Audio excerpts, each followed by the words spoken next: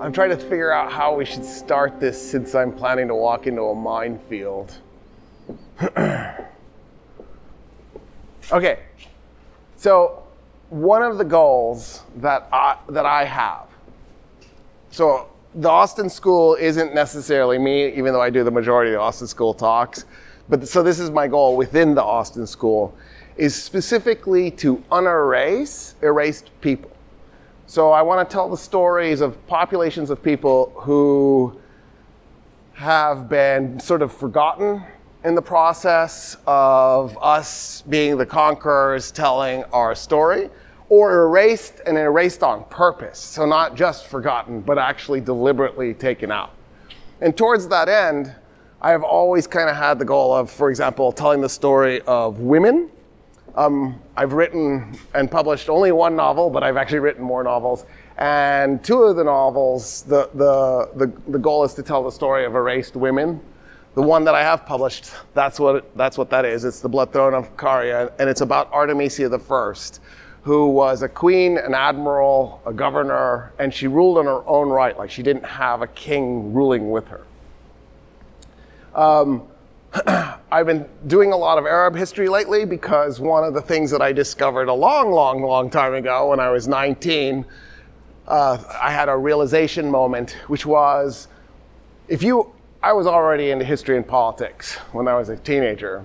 If you walked up to me and you asked me to talk to you about ancient history, I could, I could give you a spiel on ancient Egypt or ancient Rome or the ancient Greeks. And then if you wanted to talk to me about uh, modern history, I was really into World War II and and the the American Civil War, and you know I knew a little bit about the English Civil War. Like I could I could get into that. I could get into a lot of European history. I you know I knew there were stories about the Native Americans that I didn't know, but I was getting into that too. My my undergraduate minor was Aztec and, and Maya archaeology because I was totally obsessed with uh, pre-Columbian Native American stories in Mexico. But I realized when I was 19, I knew nothing about a thousand year span of time. And that thousand year span of time was from the moment where I was incorrectly taught that the Roman Empire ended, right? Because we were taught that it ended in 476 AD, and that's, that's beyond lie. That's, it's, it's so nonsensical. It ended in 1453. It's a thousand year lie. And because we know the date and the moment and how the Roman Empire ended, the only way you could make the mistake is if you're a pathological liar and you're doing it on purpose, right? And, and so realizing these things, I went to the library and I, I found a book and it was on Arab history and it blew my mind that I didn't know any of it. And so at some level, I became obsessed with Arab history because it, it fills that thousand year span of time. Um, you know, and it makes the whole narrative of Western civilization and how Western civilization evolved make sense once you know that thousand year history. So, so for, for a long time, I've been really obsessed and aware of the effect of a deliberate erasure, deliberately trying to ignore other people's stories. So I've been focusing a lot on Arab history. I just did two, two talks on the Aztecs. Um, going forward, I'm going to still be doing more Arab history because I have to do parts three and four of the Crusader talks. Um, but I, there's, there's other things I'll do there too. And then also, I'm going to do more Native American stuff. Um, for example, I'm definitely going to do next semester or maybe spring a talk on the Apaches. I'll, I have plans to do a talk on the Lakota. Um, I might do a talk on the Iroquois Confederacy. Like there's, there are these Native American nations that just simply, we need to tell their stories. I mean, when you think about it, Americans, everybody should know the names of the nations that we massacred so you could have your nice little home your nice little two by four stud home with sheetrock on the outside where the studs are spaced every 16 inches. Because at the end of the day, right, like the, the Tonkawa used to be here, but, but a lot of Native American nations didn't have specific chunks of territory. So in other words, there were other nations who, which also moved through here from time to time. but I, I kind of think it's genocide 101 to just at least, you've never heard of Tonkawa. That's how thoroughly we've deleted them. They were, they were uh, re- reservationized, concentration camped in Oklahoma, right, in an attempt to wipe them out. They have recently bought land near uh, Fredericksburg, Texas, because their holy site is. Uh, I'm having a COVID brain moment. I can't remember the name of the big granite rock near Enchanted Rock. Their holy site is Enchanted Rock. So the next time you're high and drunk and stumbling on it and vomiting and falling off the side, you're basically doing that in their Jerusalem. I just want you to know. And so they bought a chunk of land so they can be close to their their holy site. And we need to know these stories and we need to tell these stories. We need to unerase them. We need to make our complicity in this known. And the way we do that is by not erasing them, by unerasing them. So, one of the things I've become really sensitive to is when I see erasure in, in movies. So there's a, I'm a, I love submarine movies. Just I just out myself. If there, if there's a movie with a submarine in it, I am going to watch it, even if it's bad. I have seen some bad submarine movies. I just, I don't know why I like submarine movies. I also like space movies, which is really just a submarine movie. And I, and I made the connection when I was a kid because I was watching like a Star Trek episode where they're, they're fighting the Romulans, but the Romulans had a limited speed and they're trying to go silent in space. And I'm like, there's no noise in space running, like, and somebody drops a wrench, and everybody's like, oh, no, in a submarine, yeah, because sound goes through water, but in space, you can drop all the wrenches you want in your spaceship, it's okay. and I, as a kid, I was like, this is a submarine TV show. And it's just the water is black and it's got sparkly little stars in it. so, there's a movie, U571. I watched it reluctantly years after it came out.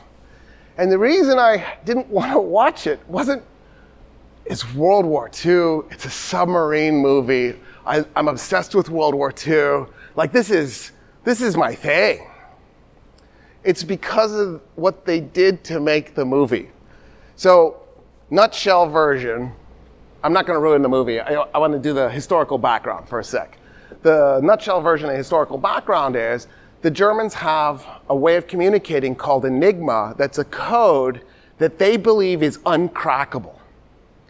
Poland is in, they have their top brainiacs. Today they would just be doing Sudoku or something.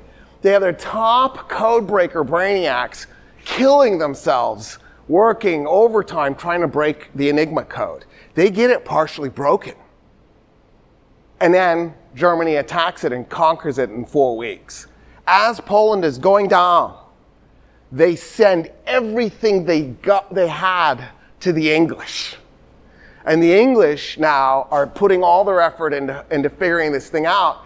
They, they they think they're pretty close with what they've gotten from the Poles. They, they add to it, they've made it a little bit better. The problem is they need an Enigma machine. So the Brits go out submarine hunting because if they can capture a German submarine, not sink it, capture it, they can get the Enigma machine off of it and they can complete the process of breaking the code. So, Hollywood made it a US submarine, not a British submarine. What? What?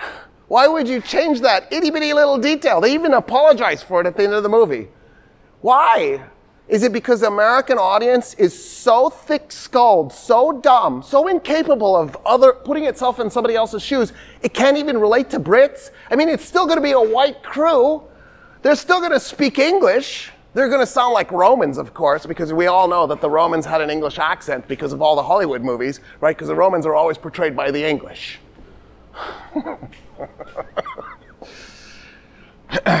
Mind blowing.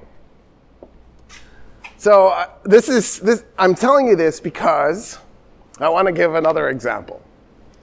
So uh, recently there was a Marvel movie. Now you go, okay, you've already lost me. It's another comic movie. Who cares? It's Marvel, like comic fatigue. And how can I take that seriously? Well, because that's what everybody else is watching. It still matters. The Marvel movie is largely set in Iraq. I was kind of blown away at the opening scene. I'm like, what is going on here? I didn't know that was even legal, that you could have a movie that takes place in an Arab country that we attempted to genocide and successfully killed 10% of its population. Like, I mean, you know, tax money well spent. Way to bring it home.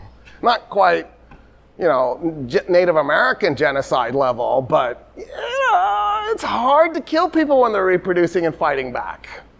It's, it's not easy. So, so I'm already blown away, and I'm thinking, is this Marvel attempting to unerase Arabs? Can this be happening?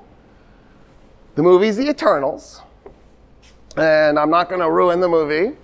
Well, I might, but not because I'm going to tell you the end. I don't, I don't really care. It doesn't matter. Because for me, at this point now, it's a study, right? Like when I watched Black Panther, that was a study. Uh, so, there's two Arab adult actors in the movie. One of the superheroes, one of the Eternals, is an Arab, Salma Hayek, who is, of course, Arab Mexican. But it's good. Good.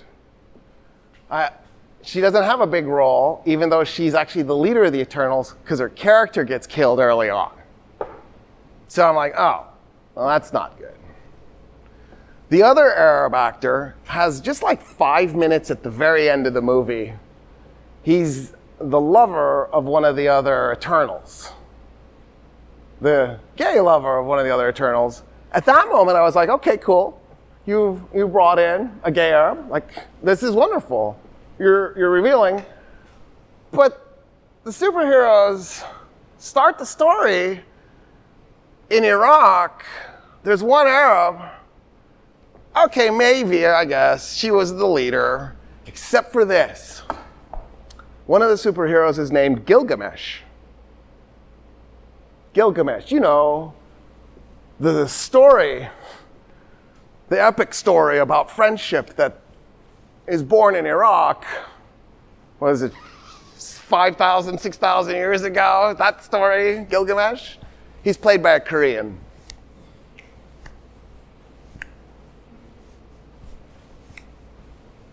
Like, where do you go from there? Where do you go from there? Now, it's a step up from what I grew up with. What I grew up with was whenever Arabs were portrayed in the movies in the 80s, they were always played by Indians and they were always terrorists. It was 100%. It wasn't like 90%. The Italians are always mafia in the 80s movies. Is 100%. And you know, the nice thing about the Italians being portrayed as mafia is at least there's an Italian actor.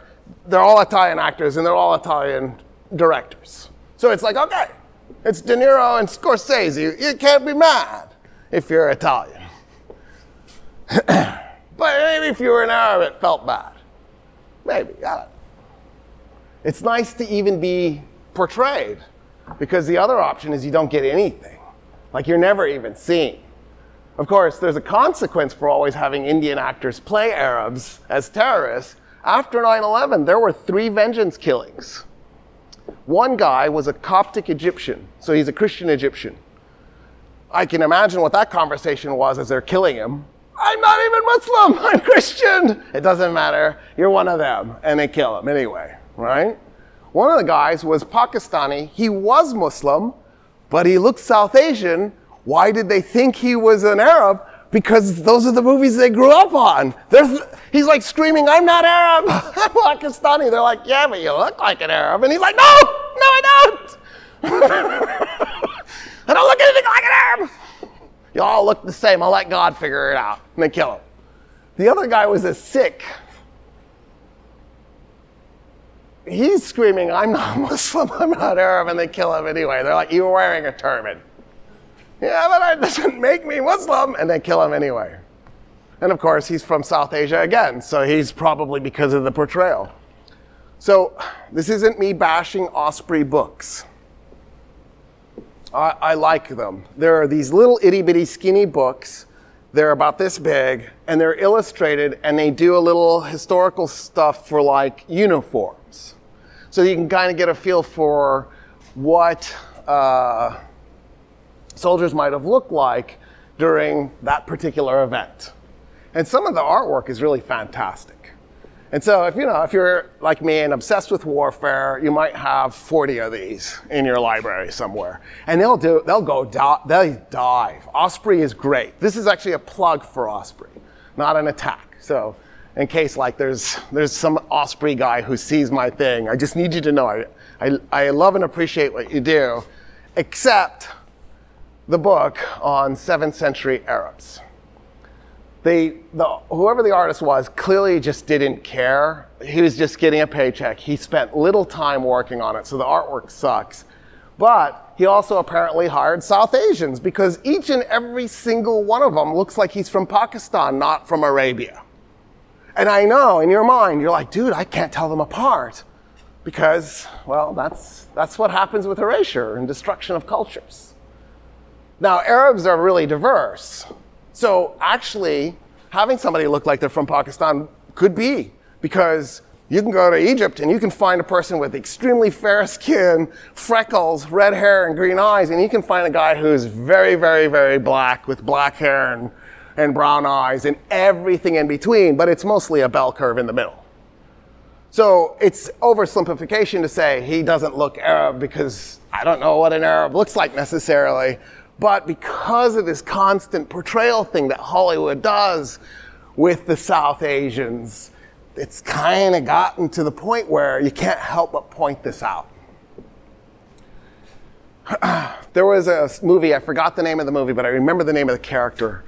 Uh, Angelina Jolie plays her. The character's name is Pearl.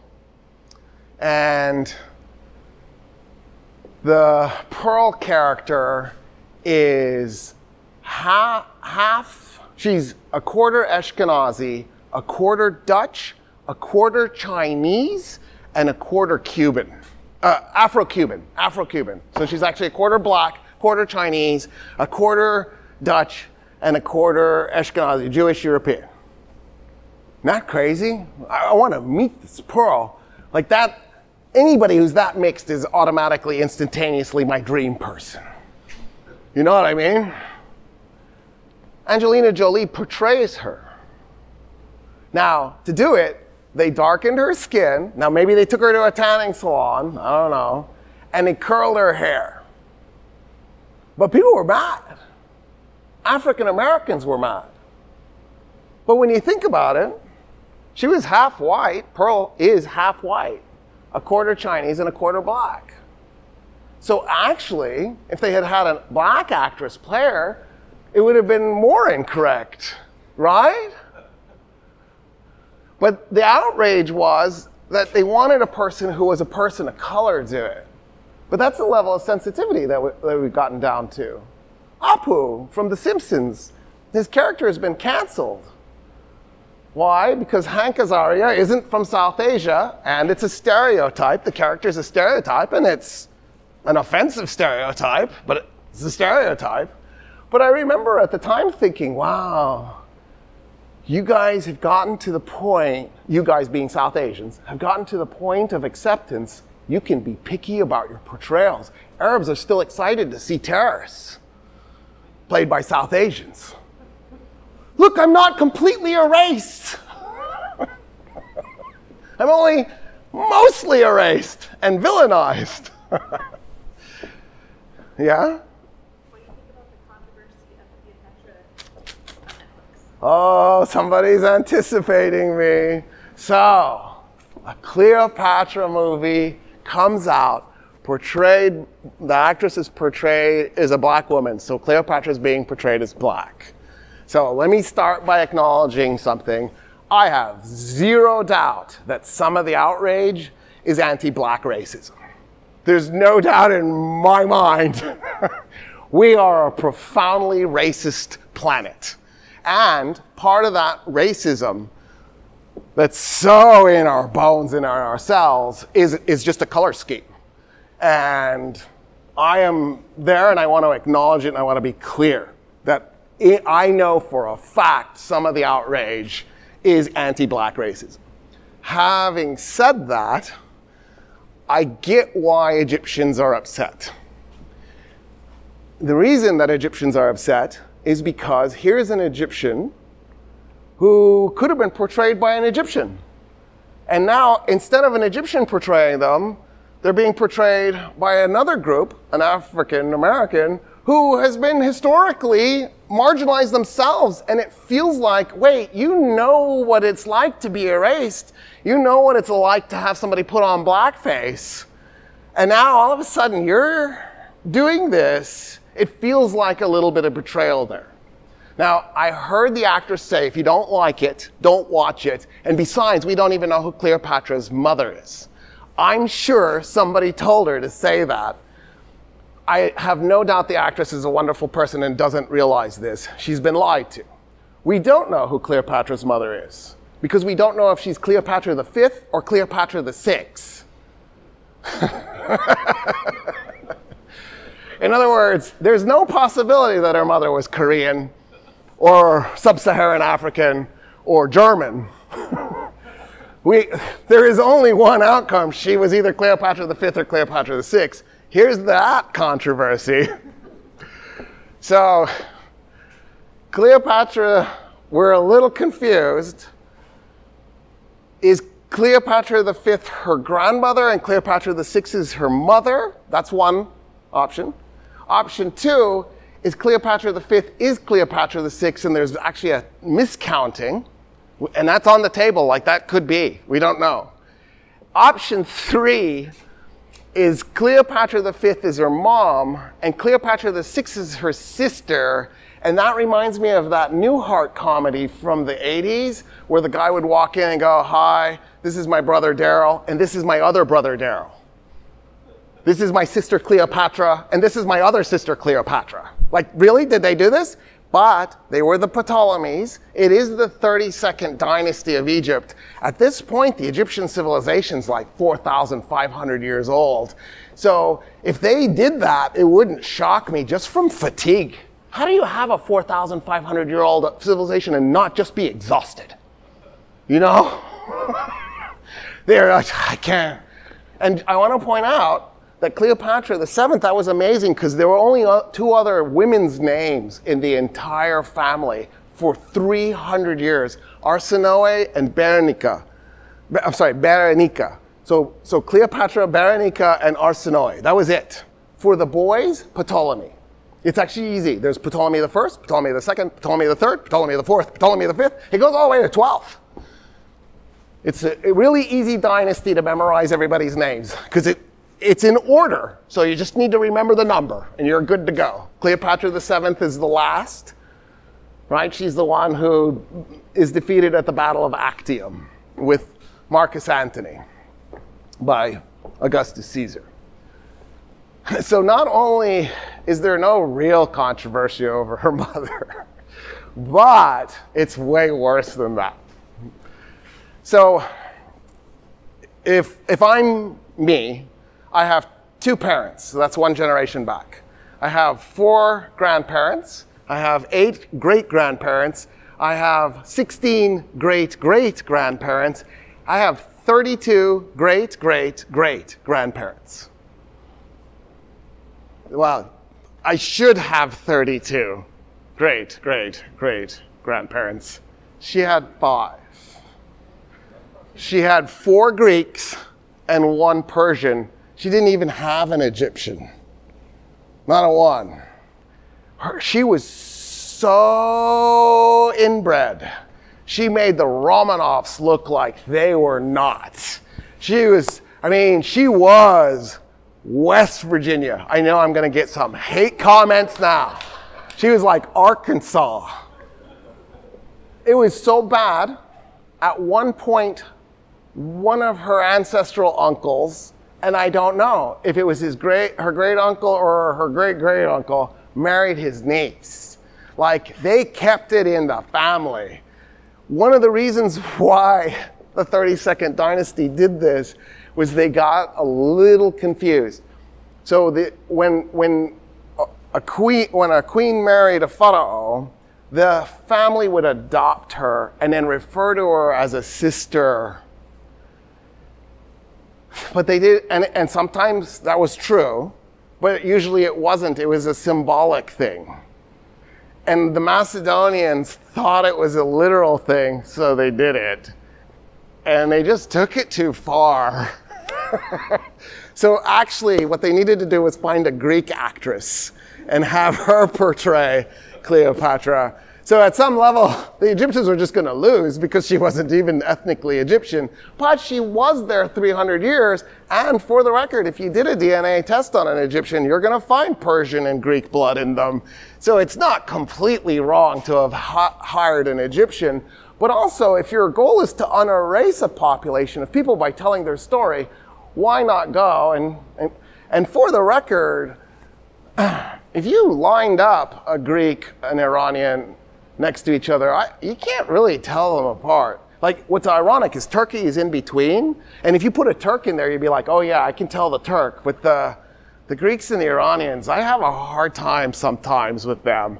And then if you grabbed an Egyptian and put them in that mix, you might still have a little bit of trouble. Like, it's that, that eastern part of the Mediterranean going into Iran, Iranians have a very distinct look. Don't get me wrong. It's just, for some reason, I feel like Greeks defy it a little bit and jump. I think it's when you've done that much warfare with a population, you share a lot of genetic material. That's, I think that's how that works out. Um, that's, that's one of the purposes, I think, of warfare is to keep Arkansas or West Virginia from happening. It's to keep things kind of moving and fluid. I know that's and that's that's the minefield I wanted to walk into. Uh, so so I guess my point is I have to ask. Here's a population of people who aren't portrayed. Lawrence of Arabia. It's a Mexican and an English guy. It's Anthony Quinn and Alec Guinness. Now, don't get me wrong, Omar Sharif is there, but Omar Sharif is, the, is like a, a god. He, he, he's so perfect and angelic and amazing and charismatic. Not including him in the movie would have been a sin. You know what I mean? Like, it was, there's no way you didn't include Omar Sharif in that movie. I think it was mandatory. But you know, if he had had like one level lower in looks and charisma and charm, he would have never been there. It would have just been all Greeks and Mexicans. So we have a culture of erasing Arabs, and here's a chance to throw an Arab on the screen, and they don't do it. And they must have known this was going to create that stink. And I swear they did it just to drive up ratings. It's a really nasty, cynical thing to do. Shame on you. That's my point. And by the way, if you're part of the anti black racism, shame on you too. Screw you. Just so we're clear, I don't want that to be confusing. By the way, if you wanted to, you could just go back a couple of dynasties. The Kush dynasty of Egypt were all black, and they were pharaohs who ruled Egypt. It's, and if you go to Egypt, you'll find black Egyptians. I mean, like, this is not a. Egypt is the first uh, majority not black country in the middle in the modern period to have a black president, and it had two. The first one almost doesn't count, Muhammad Najib, because he was he was in power for all of uh, a couple of years. He was half Sudanese, but Anwar Sadat was also half Sudanese, and they were so they were both black, half black. They were as they were blacker than Barack Obama because, right? I mean, if you're not black Egyptian, you're still part black. You know what I mean? Genetically, Egyptians are about 60% white, about 20% black, and about 20% Asian. So, in case you wanted to have the numbers. you know how I know how racist you are and you want to categorize everything. I'm the same way. I'm just fighting it because it's gross. But you get it, right? You, you see the person, you have the assumption, and then you go along with it. No, no, no, you block the assumption and then you try to be open minded and not go along. That's what I always get that mixed up. I always get that mixed up. All right, so, uh, so I'm going to I'm going to stop having that controversial conversation and dive into the regularly scheduled program.